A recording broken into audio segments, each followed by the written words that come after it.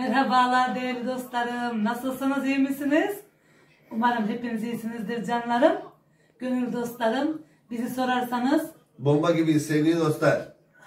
çok şükür halimize işten geldik ama e, zindeyiz canlar. Öyle diyelim, öyle olalım en azından. Aynen böyle bugün bir giriş yapalım dedik. Değişiklik olsun dedik. Sevgili dostlar, e, videolarımız gayet güzel izleniyor. Sağ olun, Allah razı olsun. Ama videolarımıza like atmayı unutmayalım. Çünkü sizin like'larınıza bizim ihtiyacımız var. Beğenileri bırakalım, yorumlar atalım ve de abone olduktan sonra zil sesini açmayı unutmayalım ki size bildirimlerimiz gelsin. Biz size güzel güzel videolar çekmeye çalışalım. Siz de bizi destekleyin. Gerçekten desteğinize ihtiyacımız var. O zaman biz hadi videomuza geçelim. Hadi. evet canlar, mutfağıma yine hepiniz hoş geldiniz. Mutfağına derken dışarıda oturmuyoruz. Bugün biraz hava serin dışarıda. Karanlık oluyor. Karanlık oluyor bir de ışık yetmiyor balkondaki. O yüzden yine kırmızı masamızdayız.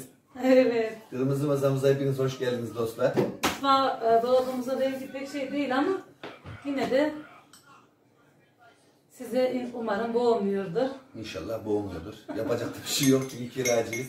Evet çünkü bir tane izleyicim demişti mutfak e, dolabının rengini boyayabilirsin diye.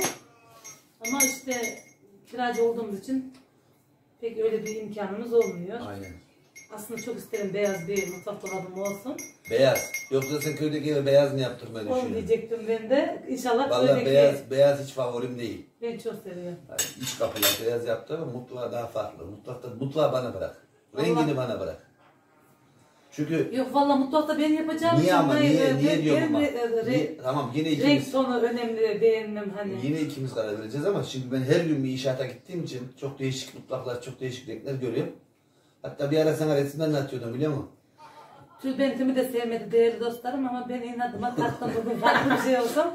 Belki sizler de hani e, yakıştıramayabilirsiniz renk olarak. Çünkü kırmızıyı çok e, seviyorsunuz beni de. Ama hep de kırmızı olmasın. Bugün de böyle bir değişiklik olsun istedim. Evet, güzel olmuş. Yakışmış hayatım.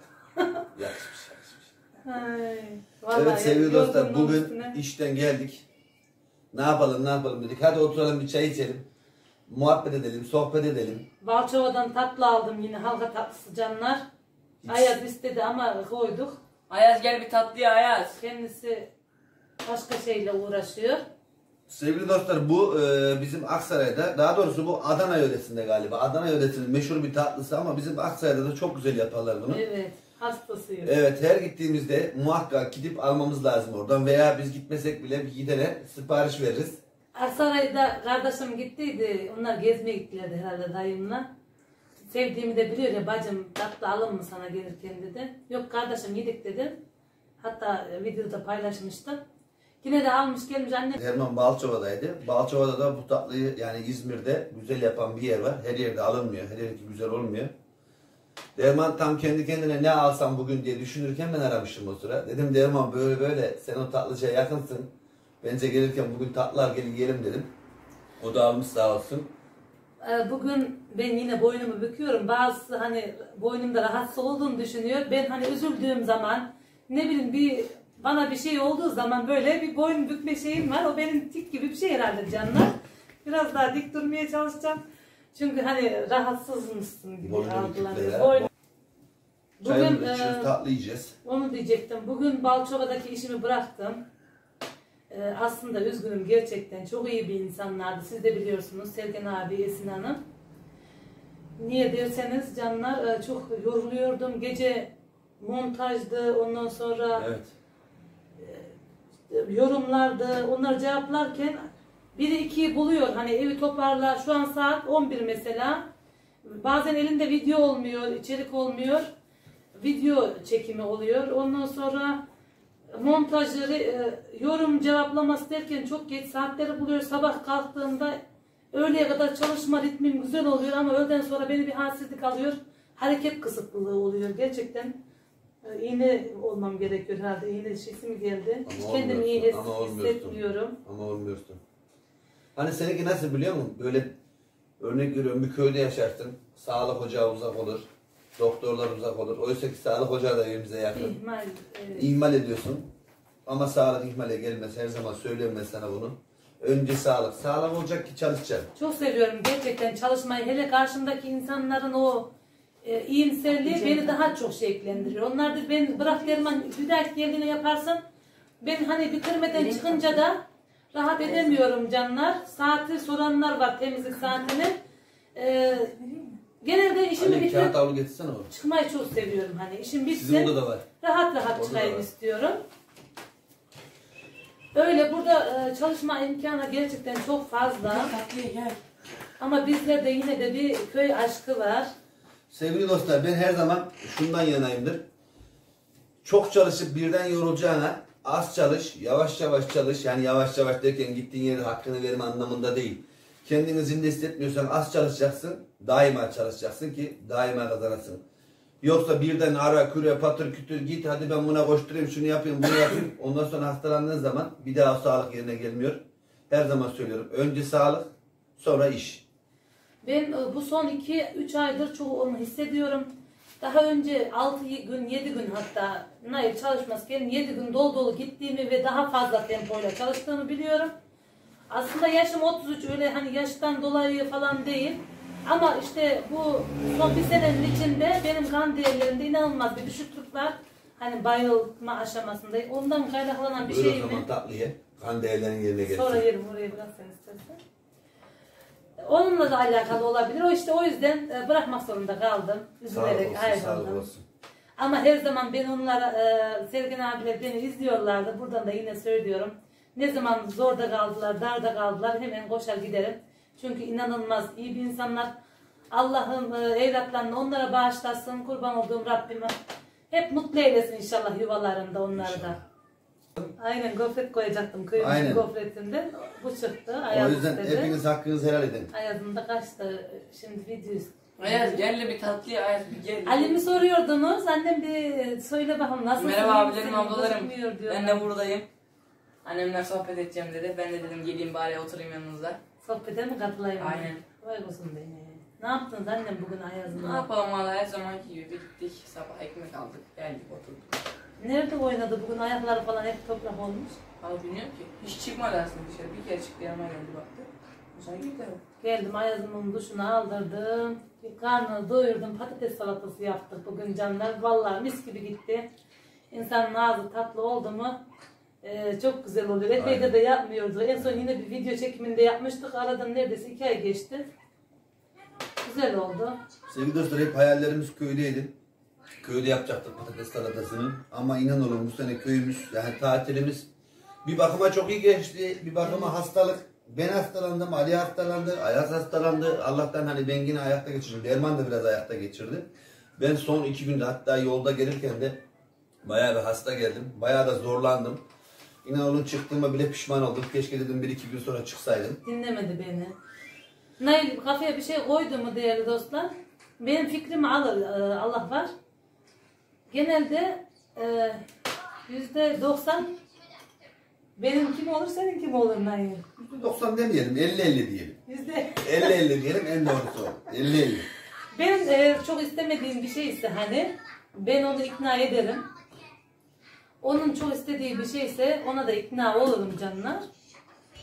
İş konusunda beni ikna etti hani gidelim işimizin gücümüzün hani şey yapalım. Sen de orada dinlen dedi. Burada dinlenemiyorsun. Gerçekten o köyde sabahleyin 5'te dedi mi uyanıyordum. Hani Kimisi hani çok kılsın, kimisi der çok dinamiksin, kimisi der bilmem ne. Ben gerçekten disiplinli bir insanım. Disiplini de severim. Ben işlerimden belli bir tarih, işverenimden belli bir tarih konuştum. Ben şu tarihte giderim, bu tarihte gelirim dedim. O da dedi ki tamam arkadaş, tamam birader ben işleri dedim ona göre ayarlayacağım. Sen git dedi. Şimdi tekrar oradan telefon açıp ben iki gün daha izin istiyorum demek bana böyle bir ters geliyor. Neden ters geliyor? Önceden konuşulmuş bir şey var. Sonuçta o da bir işveren. Belli bir işleri yapıp işini sağlaması lazım. Benim gelmemem demek belki o gün işin iptal olmasına sebep olacaktı. O yüzden ama şey hani bizim istediğimiz gibi olmadığı için yani Ya çocuklar hiçbir şey sen- anlamadığı için Ali tamam onu diyor biz ki gözümü kapattım diyor gözümü bir açtım yoldayız diyor. Onu biz anlarız ama o Değil mi anlamaz Ali ki. bir şey anladın mı sen? Seneye inşallah. Neyse bir şey fazla istememek lazım canlar. O yüzden gidelim dedim ya. Önemli olan sağ salim gittik geldik. Çok istediğimiz için e, bazı şeyler oldu hani aksilikler ama çok şükür çok iyiydi. Geçti gitti. Aynen güzeldi. Neyse. O da geçti gitti. Allah inşallah yine nasip eder. Aklımız orada canlar. Şimdi esas konumuz. Biz Alici, Ayazcığım onun sesini kıs biraz anne. Biz oraya gittik geldik. Aklımız bizim orada kaldı. Ve e, sizden gelen yorumlar da var. Diyorsunuz ki çoluk yorumlar var. Çocuklar büyümeden. Zaten Alim'de bir köy şevki var. Nasıl seviyorsun annem orayı bir anlat. Vallahi köy bir ayrı ya. Sanki köye gidince Paris'e gitmiş gibi oluyor. Paris nasıl oluyormuş anne? Hani Paris çok güzel ya. Ha. Ya bizim Paris'imizde köyümüz diyorsun. Aynen öyle. İşte bakın vallahi E bizim oğlum sen içinden orada gelerek- doğmadın ki. Sen burada doğdun, burada büyüdün. Orası daha iyi ya. Mesela havası kötü ama ben orayı daha çok seviyorum bilmiyorum. O zaman o zaman kan Hava çekiyor. olarak evet Olabilir. orada çok kuru bir hava var. Ben burnumdan iki sefer ameliyat oldum. Oraya gittiğim zaman yara oluyor ve onu hiç sevmiyorum zaten. Onu acaba diyorum çok durduğum zaman onu hani alışır mı? Alışır tabii. Alışır değil Mesela mi? gidiyoruz yüzümüz, yüzümüz uçukluyor. Uçukluyor demiş çatlıyor. O zaman o da geçer. Orada rutubet olmadığı için. Alışır mıyız? Alışırız bence.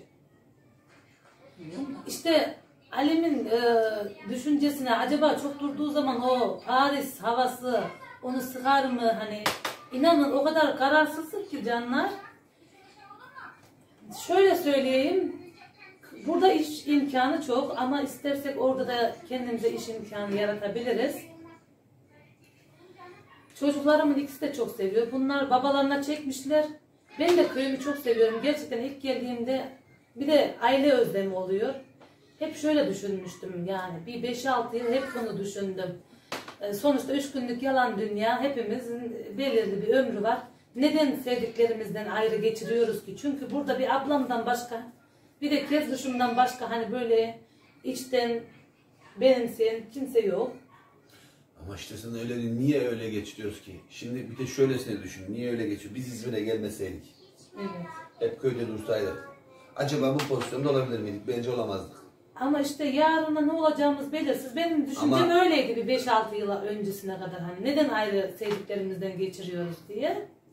Şimdi çocuklar olduktan sonra herhalde onların so- e, sorumlulukları omuzumuza binince, koşuşturma başlayınca o fikir aklımdan çıktı. Bunların şeysi başladı, telaşı, büyütme telaşı.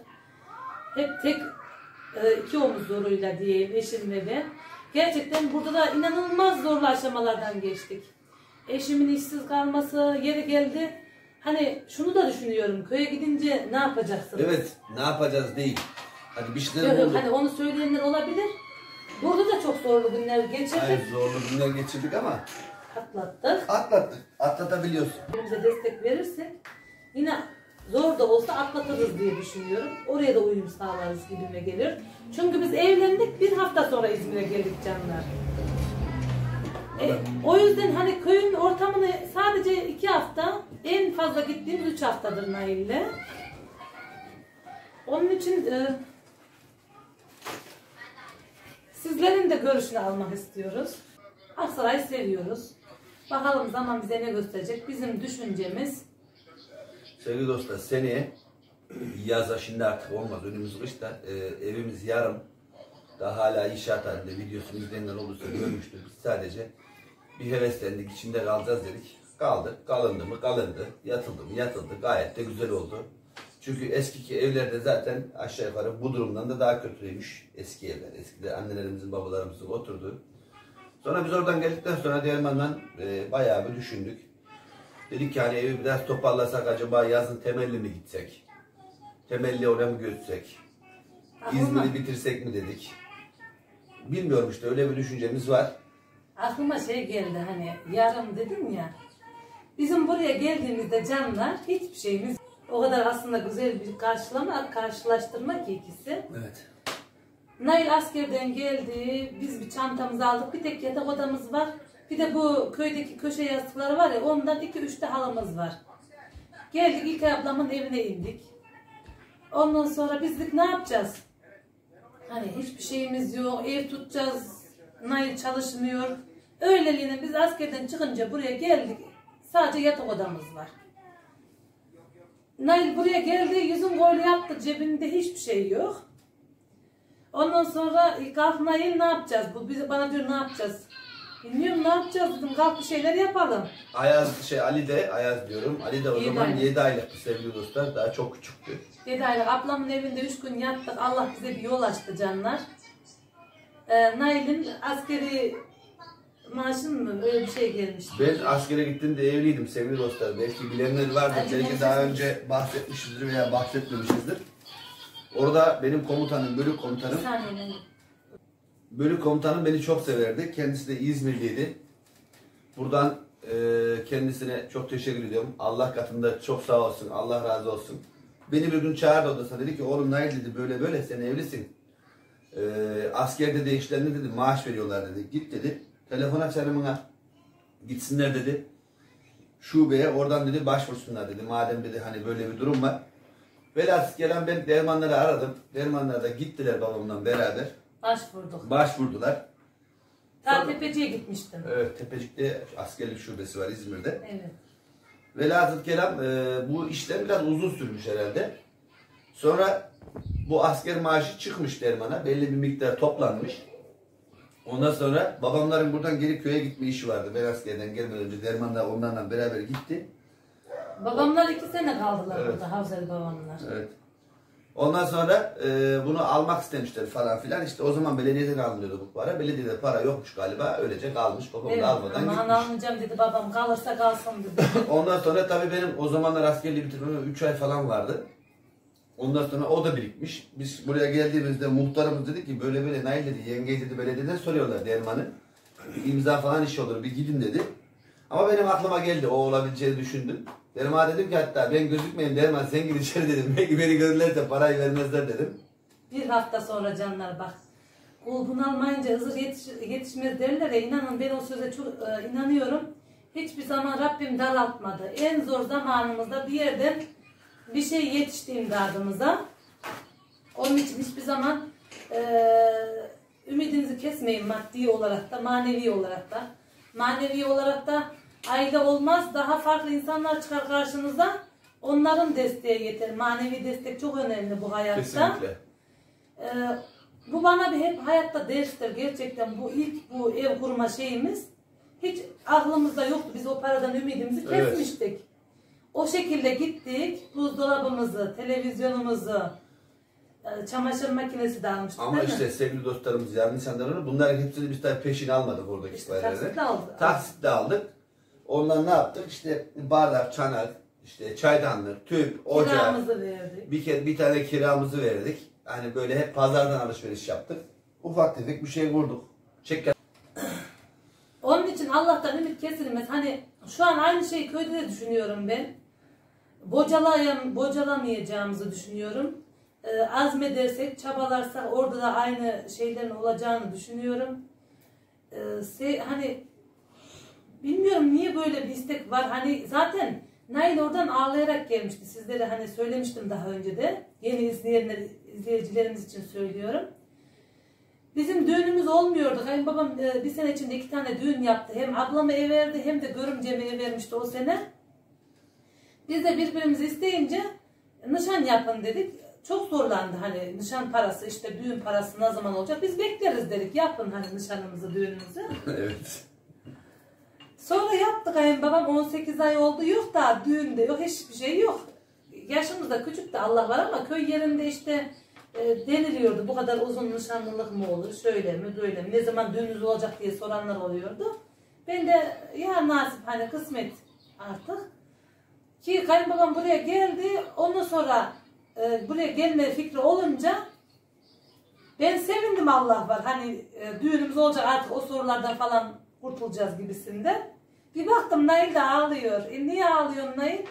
Koyunumuz, ineğimiz, kanımız hep satılacakmış. Çok seviyordu gerçekten. Hala seviyorum. Ağlayacak şekilde. Aslında Nail'in böyle şey olduğuna bakmayın canlar. Pek duygusaldır. Çok çabuk ağlar. Dur üstüme gelme ağlatacaksın beni. O günlerin aklına geldi mi? Yok, geçti, yaşlandım artık. Tabii Nail, Nail'in istediği olmadı. Herkesin istediği oldu. Orası satıldı işte koyun kuzu neyse. O şekilde buraya gelmek nasibimizde varmış. Geldik. Kayınbabam en fazla iki sene dayandı. Ondan sonra o tekrar gitti canlar. Bizi buraya bıraktı. E Şimdi bizde böyle bir ortamımız var ama e, herhalde oraya ev evimiz yapıldığı için bu istek bizde. Evet bir özgüven geldi sanki. Evet. Çok gerçekten huzurluydu. O balkonun vallahi dünyalara değer. Yani ben o zaman o para geldi ama yani koltuğa falan yetmedi. Koltuk falan alamadım. Yastıkları yine çevirdim. Halıyı ortaya attım. Buzdolabım, televizyonum, çamaşır makinem vardı. Yine oraya Televizyonumuzun da anteni yoktu sevgili dostlar. Televizyonumuzda Hep antensizdi. bozuluyordu eski antenleri biliyorsunuz o tarafa bu tarafa ne taraftan çekecek diye. Ee, Derman da dediği gibi gerçekten benim yıllardır hep böyle gideceğim, gideceğim, gideceğim, İzmir'i bırakacağım, gideceğim. Her sene böyle bir hayal kurarım köye gidince. Ama olmuyordu. Neden olmuyordu? Gittiğimiz zaman orada evimiz yoktu. Babamın evi var tabii ki. Gitsek Allah razı olsun onlar da bizi kabul ederler. Zaten e, ev yapmadan önce de böyle bir şeyimiz olmuştu. İstiyorsanız gelip kalabilirsiniz gibi. Ama biz tabii rahat edeceğimizi düşünemedik. Çünkü ister istemez kendi evin gibi olmaz. O yüzden evimiz yaptıktan sonra bize biraz özgüven geldi. Şimdiki düşüncemiz ise acaba yazın biz köye taşınalım mı, taşınmayalım mı? Bunu da sizinle paylaşmak istedik. Hepinizin yorumlarını dikkate alacağız. Yorumlarınızı bekliyoruz. Ee, burada gerçekten derman da olsun ben de olayım bayağı yorulduk. Ha diyeceksiniz ki oraya gidince çalışmayacak mısınız? Oraya gidince çalışacağız ama Farklı bir ee, ortam. farklı bir ortam olacak. Ee, bir kere özlem hasret ortadan kalkacak. Bir de biz burada kiradayız. Kazandığımızın belli bir miktarını kiraya veriyoruz. Burada yaşam şartları biraz daha ağır. Çünkü burada sürekli çalışman lazım. Çalışmadığın gün eksidesin. İnek almak istiyorum canlar. İneği sağmasını severim. Koyunu pek şey yapamıyorum hani. Ben oyun istiyorum. Neydi o? Bak o konuda koyun da o konuda da farklı düşüncedeyiz. İneğe sahip peyniriydi. İnanın kerpiçini yapmayı bile çok severim ineğin. Ee, tavuklarımı böyle o bahçeye salmayı gerçekten o bende bir şey yumurtalarını almayı o zaten oralar otlak ya. Bunları çok istiyorum. Zaten burada çalışıp çalışıp da oraya gittikten sonra onları yapmam zor olacakmış gibi. Şimdi tam zamanıymış gibi geliyor bana da bir şeyleri yapmak için orada. Zaten belli bir müddetten sonra onları yapma şevki kalmayabilir. Çünkü bu temizlik işi gerçekten inanılmaz yıpratıcı. Bir de bende iltihaplı romatizma var. İnanın sabah kalkamıyorum. Hani başka iş imkanı derseniz başka iş imkanı bizim kaldığımız şeyde yok mevkide diyeyim. Burada mı? Evet burada. Burada Benim yok tabii. için. Senin için yok. E bıraksam da zaten işi bıraksam Bilal'in e, omuz zoruyla e, zor daha zorlanacağız. Çünkü çocukların okuluydu, kiraydı, evde derken. Evet. Malum bu sene Ali liseye başlayacak. O yüzden bilmiyorum sizler beni anla, anlatabildim mi yine? Yani kendim ifade edebildim mi? Ee, gidiyoruz hemen geri sayım başlıyor. Bu sene şöyle bir karar aldık Derman'la beraber. Dedik ki en az bir ay gidelim. Ee, bir doyalım.